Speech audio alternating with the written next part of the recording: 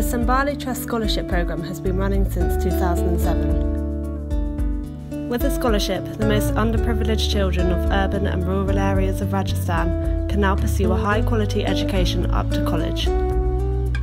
Thanks to our generous partners and sponsors, we have been able to help numerous children continue their studies at good schools.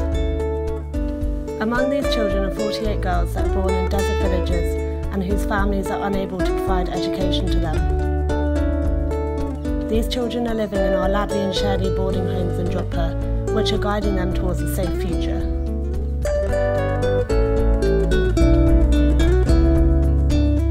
गांव में अच्छी पढ़ी नहीं थी और ना मेरे मम्मी पापा कोई ना मेरे पढ़े पढ़े नहीं करवाना चाहते थे और ना मैं ना ना विकलांग थी इसलिए ना मेरे घर पे ना रखते थे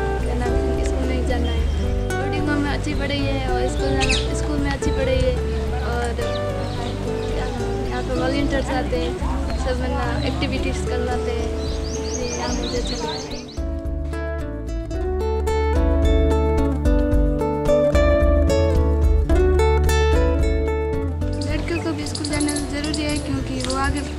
है जैसे लड़के काम करते वैसे वो भी कर सके, उनको दिखा सके कि हम भी कुछ कर सकते वो दबी के दबी ना रह सके, इसलिए। स्कूल जाना बहुत ज़रूरी है ना, बड़े होके हम कुछ बनना चाहते हैं। I want to be teacher because many peoples not go to school so I help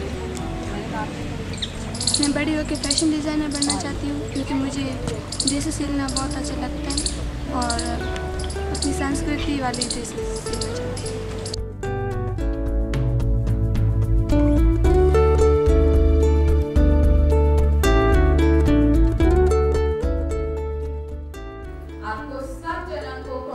congratulation आपने खूब मेहनत से ये अचीव किया है। एंड अगर आपको स्कॉलरशिप मिला है, वो इसलिए मिला है क्योंकि आपने मेहनत किया है। तो ये आपको कभी नहीं छोड़ना